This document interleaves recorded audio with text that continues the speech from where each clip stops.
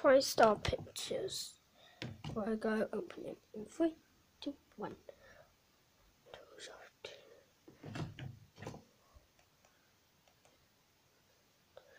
star